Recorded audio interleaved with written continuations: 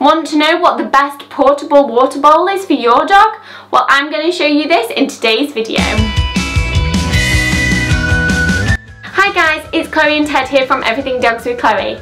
And on this channel, we help you keep your hairy hound happy and healthy. We post weekly videos on dog care and dog training and anything else to do with your dog. So if you're new here, please think about subscribing.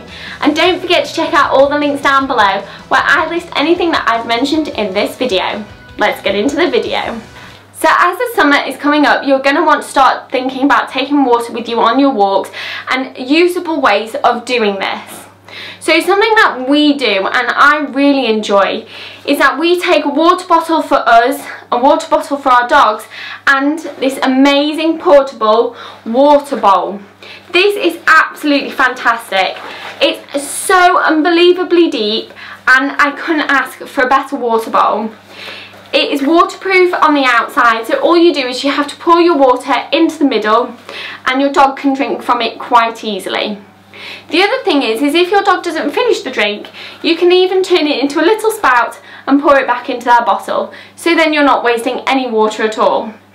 The other option is, if there's not too much water in your bowl, you can pull this string and tie it up right at the top and use it like that and let it carry and dangle down and the water will stay in it.